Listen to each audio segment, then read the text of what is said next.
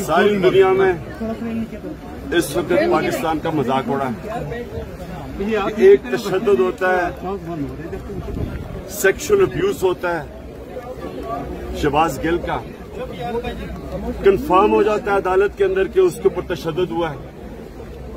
और मैं ये कहूँ कि मैं लीगल एक्शन लूँगा जो पुलिस वाले जिम्मेदार थे आईजी और डीआईजी और दूसरी कि मैजिस्ट्रेट जिसने तशद होते हुए उसको वापस भेज दिया पुलिस के पास। अब इसके ऊपर अगर लीगल एक्शन मैं कह रहा हूँ लूँगा और उसके ऊपर मेरे ऊपर दहशतगर्दी का केस लग जाता है, आप खुद सोच रहे हैं कि दुनिया में ये कितना बड़ा मज़ाक उड़ा है। सारी दुनिया के अंदर हेडलाइन न्यूज़ गया है।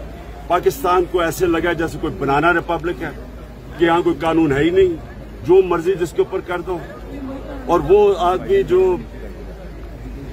सबसे बड़ी पार्टी का हेड है उसको इसके ऊपर गिरफ़्तार करने की कोशिश करें इस केस के ऊपर। मैं सिर्फ़ ये चाहता हूँ कि जो भी ये फैसले कर रहे हैं और करवा रहे हैं उनको अपने मुल्क का सोचना चाहिए। खौफजदा हुए हुए तरीके इंसाफ की ताकत से वो फैलती जा रही है बाई इलेक्शन जीते जा रहे हैं। जल से पाकिस्तान की तारीफ़ में कभी इतने बड़े नहीं हुए। उस खौफ से ये टेक्निकल नॉकआउट करने के लिए, अपनी जात को बचाने के लिए, ये मुल्क का मज़ाक उड़ रहा है।